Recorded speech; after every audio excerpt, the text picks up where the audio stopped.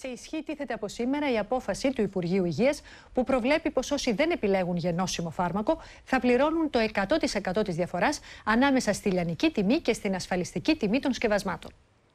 Το χέρι στην τσέπη θα πρέπει να βάλουν οι ασφαλισμένοι αν στο εξής θέλουν να αγοράζουν ένα πρωτότυπο φάρμακο, αφού θα πληρώνουν το 100% της διαφοράς ανάμεσα στη λιανική τιμή και στην ασφαλιστική τιμή του σκευάσματος, ενώ μέχρι τώρα πλήρωναν το 50%. Εγώ το θεωρώ απαράδεκτο να προσπαθούν να μας πείσουν με το έτσι θέλω να αγοράσουμε γενώσιμα. Εγώ δεν θα το έκανα. Προτιμώ να στερηθώ της διατροφής μου παρά το φάρμακό μου.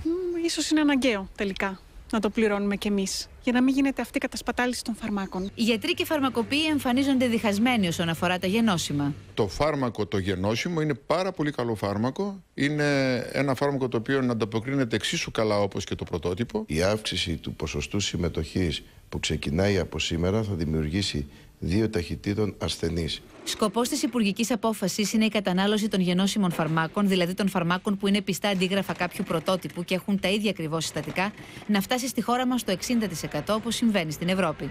Δεν έχει καμία αύξηση συμμετοχής. Αντιθέτως, ο ασθενής ο οποίος θα επιλέγει φάρμακο κάτω από την ασφαλιστική τιμή αναφοράς θα έχει τη μισή συμμετοχή, από 25% το 12,5%. Ο ΣΥΡΙΖΑ με ανακοίνωσή του κάνει λόγο για πείραμα που επιβαρύνει τους ασθενείς προκειμένου να ικανοποιηθούν οι δανειστές.